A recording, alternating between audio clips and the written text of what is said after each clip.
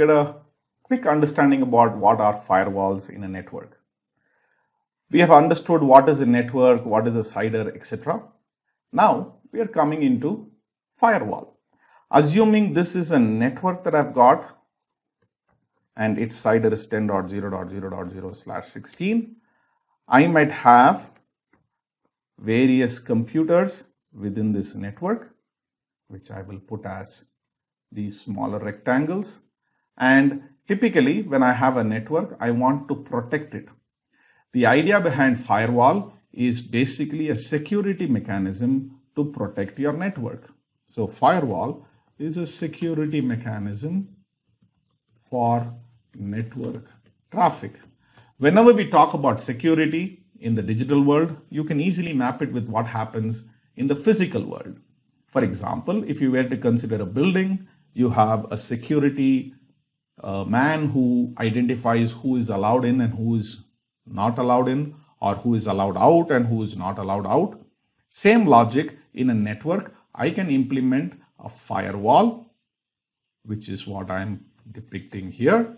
And when I implement a firewall, this is going to act as a security mechanism as to what is going to be allowed inside in the form of what is called as ingress rules. And we can also configure what traffic is allowed to go out in the form of egress rules. When you configure these security rules, you basically specify a CIDR and protocol and the port. For example, I might say I want to have an ingress rule which will allow in this network the ability to reach from 0.0.0.0 slash 0 on TCP port 80.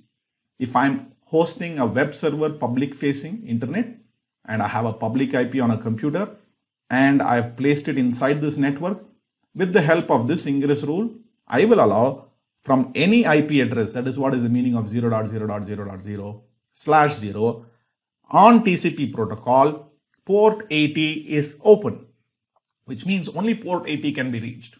Whereas if I have my office network, which is also connected to this network, let's say this is a cloud network that I have, and I only want people who are available on a particular network. Let's say my office network is 192.168.0.0 slash 16. I will also want TCP port 22 to be open, which means only from source IP addresses, which are starting with 192.168, TCP 22 will be allowed. For others, it will not be allowed. Similarly, when I create egress rules, I am going to specify what are the network communication that is allowed outwards.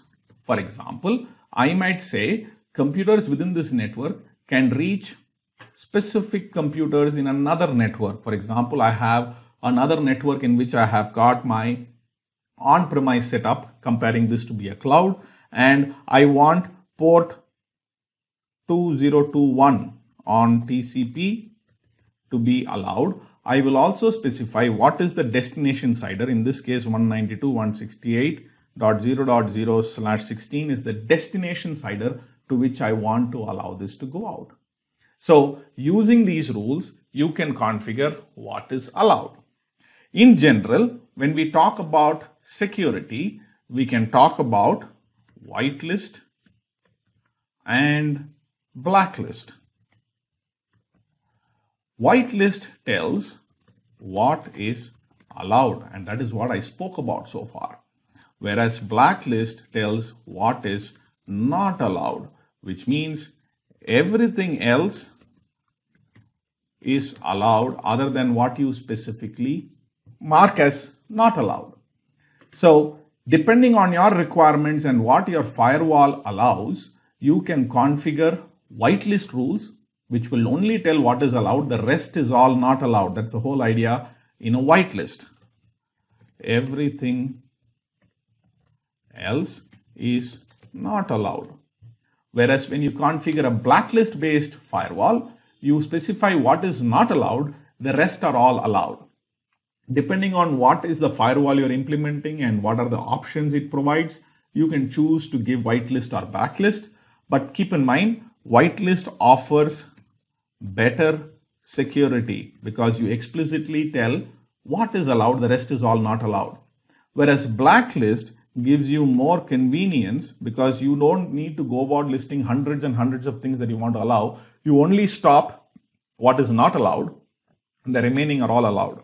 Similar to how when you're traveling on a road, nobody's going to check who you are and whether you're allowed or not. People are generally allowed to walk through on a road. Whereas if you're entering a building, then they might want to use a whitelist rule on the building to tell who is allowed or not allowed. Or if you go to a public location, let's say getting into a park, typically you use a blacklist, meaning people who are having specifics, people with a gun are not allowed inside or things like that can be given. But otherwise, you use a blacklist, which is more of convenience, but offers lesser security. But whitelist is the one that offers better security because you explicitly allow only specific to be allowed. The same thing would be available in firewalls that you implement in a cloud or in your on-prem environments.